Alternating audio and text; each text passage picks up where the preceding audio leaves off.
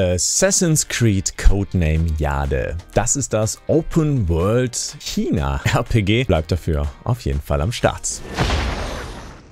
Liebe Leute, mein Name ist Fragnat, hier auf dem Kanal dreht sich alles rund um Assassin's Creed. Ich würde mich freuen, euch hier mit einem Abo zu begrüßen. Ja, und auf der Ubisoft Forward, da hat Ubisoft jetzt zum ersten Mal gezeigt, sie arbeiten. Sie haben nicht gesagt, dass sie das zusammen mit Tencent machen, aber das ist höchstwahrscheinlich an einem Open World Assassin's Creed Mobile Game. Ich weiß nur, dass tatsächlich chinesische Publisher in letzter Zeit häufiger nicht kommuniziert werden. Also I don't know warum, aber das ist mir nur aufgefallen. Vielleicht arbeiten sie zusammen daran. Ich kann es mir sehr, sehr gut vorstellen. Bislang ist es aber noch nicht beworben oder kommuniziert worden. Assassin's Creed Codename Jade. Was erwartet uns da? Warum könnte die Erwartungshaltung negativ sein? Warum könnten viele enttäuscht sein? Wie habe ich reagiert? Über all das möchte ich sprechen mit euch. Also erst einmal, ich habe das ja vorab gesehen. Und es heißt, es gab auch keinen Chat. So, es gab nicht, dass ich irgendwie abschätzen konnte, wie ist das Feedback der Mehrheit. Wie finden die meisten Leute das? Also konnte ich mich wirklich nur darauf beziehen und auch jetzt immer noch, wie finde ich das? Und äh, ich persönlich muss sagen, ich freue mich drauf. Ich habe aber auch gerne ein Diablo Immortal gezockt so. Ich spiele gerne Mobile Games, ich daddel das entspannt mal irgendwie,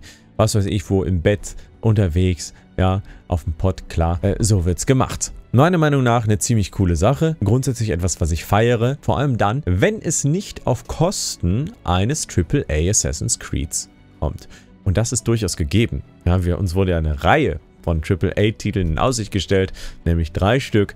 Ähm, Mirage, Red in Japan und Hexe vermutlich in Mitteleuropa. Und da ist ja klar, okay, das ist nicht ein Ersatz für ein Assassin's Creed, sondern es ist ein Zusatz, nicht mal eine Alternative. Es ist einfach nur ein Zusatz. Und von diesem Punkt aus betrachtet finde ich, ey cool, ich kann es spielen, wenn ich Bock auf ein Mobile AC habe. Ich kann es aber auch sein lassen, weil ganz normal die AAA-Projekte weiterlaufen. Finde ich gut, weil da wird keiner auf der Strecke gelassen. Es werden eher neue Leute hinzugeholt. Und das ist natürlich auch die Herangehensweise von Ubisoft. Über Netflix, über die Netflix-App, über China, ähm, über den chinesischen Markt, über Asiade wollen sie natürlich richtig viel neue Leute, richtig viel neue Fans generieren. Vor allem der asiatische Markt ist halt sehr interessant für viele Partner. Publisher, wo die Mobile Games eben am besten gehen. Und Assassin's Creed Codename Jade ist also der erste Versuch von Ubisoft, diesen Markt wahrscheinlich so richtig zu erobern, mit einem chinesischen Publisher im Nacken, mit einem Entwickler im Nacken, da dann eben als Joint Venture reinzugehen. Und das ist durchaus verständlich und wirtschaftlich logisch. Das heißt nicht, dass man es gut finden muss. Ich persönlich freue mich aber auf jeden Fall auf ein Mobile AC Open World Manier. Das Spiel wird ein bisschen anders. Ja, also man konnte noch nicht allzu viel sehen, aber man konnte sehen, auf jeden Fall wird es äh, Schleichen geben, Parcours und Kampfgameplay. Das sind wohl die drei Säulen, auf denen das Game fußt. Es wird dann vermutlich ein Singleplayer sein und es gibt auch Adler. Was ich richtig krass finde, ist, dass du einen eigenen Charakter erstellen kannst und das passt gar nicht in die Lore von Assassin's Creed. Also wirklich gar nicht. Du gehst in den Animus und erlebst Erinnerungen eines Charakters wieder. Jetzt herzugehen und zu sagen, okay, die DNA ist so weit zerstört, dass A, nicht das Geschlecht festgestellt werden konnte, B, keinerlei Aussehenshinweise festgestellt werden konnten, konnten. Und C wahrscheinlich stimmend nix. Finde ich ein bisschen krass. So für ein Assassin's Creed ist das echt weit hergeholt.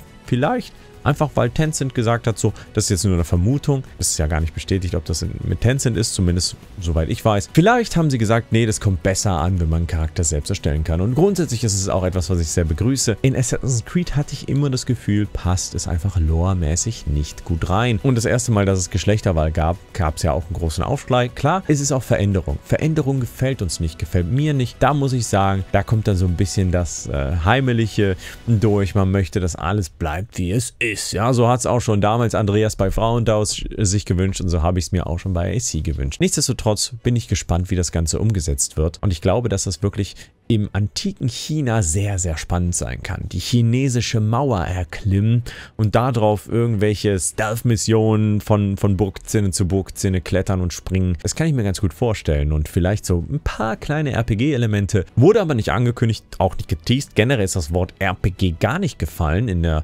Präsentation habe ich das Gefühl. Also weder für Assassin's Creed Red noch für Mirage noch für Hexe. Also da bin ich sehr gespannt, ob das überhaupt noch RPGs werden oder ob sie wieder weg davon sind. Weil eigentlich eigentlich kam das ja sehr gut an, bloß es war extrem gut monetarisierbar. Muss man auch sehen, ne? Assassin's Creed Valhalla, finanzstärkstes Assassin's Creed aller Zeiten. Das sind so meine Gedanken zu Assassin's Creed Codename Jade. Ich bin mal sehr, sehr gespannt auf eure Gedanken, was ihr so dazu sammelt. Und falls ihr es noch nicht mitbekommen habt, ich mache jetzt wieder den Assassin's Creed Marathon auf Twitch. Dafür gerne mal auf twitch.tv slash fragnat reingucken und wir spielen dort von Assassin's Creed 1 bis einschließlich Assassin's Creed Valhalla alle Assassin's Creed Teile durch bis zum Launch dann von Assassin's Creed Mirage. Wenn Mirage rauskommt, dann wollen wir quasi nahtlos übergehen in Mirage. Das ist so mein Ziel. Mal gucken, ob das möglich ist. Je häufiger man den Marathon macht, umso länger wird er und umso schwieriger wird es dann auch wirklich Daten einzuhalten. Weiß nicht, ob wir dann zwölf äh, Stunden Schichten machen müssen. Vielleicht machen wir auch ein kleines Event draus. Boah, das wäre geil, dass man wirklich so ein, so ein kleines Streaming-Event macht mit anderen Streamern, Streamerinnen zusammen. Hätte ich auch mega Bock drauf, dass man wirklich ausgedehnte Streams macht. Ich vielleicht abwechseln mit dem Zocken. Könnte ich mir auch gut vorstellen.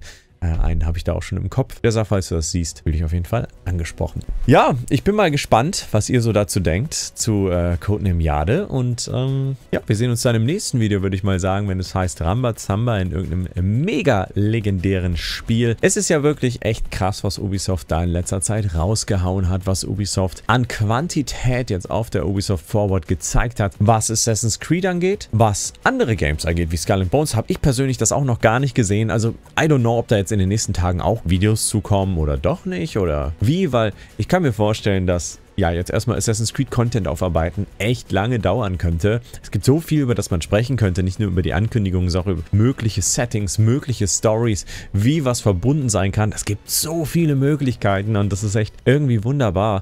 Und ich liebe das. Also ich merke das Feuer in mir wieder, mit euch rumzunörden über Assassin's Creed und sich zu überlegen, was wäre wenn und wie kann was zusammenhängen und was könnte passieren. Das, irgendwie macht das Spaß. Also ich habe eine enorme Vorfreude jedes Mal nach Ankündigung und das ist ein Gefühl, was ich mir bewahren möchte, was ich euch hoffentlich auch ein bisschen transportieren und auch bewahren kann. Ich finde es einfach mega. Und äh, ja, in diesem Sinne bedanke ich mich für eure Aufmerksamkeit. Sag, wir sehen uns auf jeden Fall im nächsten Video zu irgendeinem Assassin's Creed Titel. Es gibt ja jetzt genug Ankündigungen. Bis später. Euer Peter. Und natürlich hier gerne mal die Glocke aktivieren, das wäre legendär. Vielen Dank fürs Einschalten und ja, macht's gut. Ciao. Liebe Leute, mein Name ist Fragner und ich wünsche euch den besten Tag aller Zeiten. Liebe Leute, mein Name ist Fragner. Bis später, euer Peter. Und natürlich gern die Glocke aktivieren, aktivieren. Und natürlich gern die Glocke aktivieren, aktivieren. Und natürlich gern die Glocke aktivieren, aktivieren. Und mein Zweitkanal könnt ihr auch gerne abonnieren.